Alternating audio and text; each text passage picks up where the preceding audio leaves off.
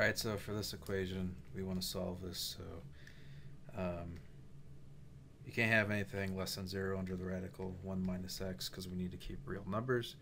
It's greater than or equal to 0. So essentially 1 minus, or excuse me, so we subtract 1 from both sides, we get negative x is greater than or equal to negative 1.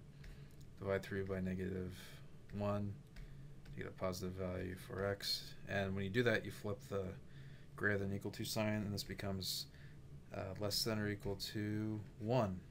And this makes sense because if you subtract anything greater than 1 from 1, it will become a negative value. But if it's less than 1, uh, if you subtract a negative value, it's a positive value. So 1 minus negative 1 is 2, and so forth. So um, x is less than or equal to 1, and any number less than 1 is valid.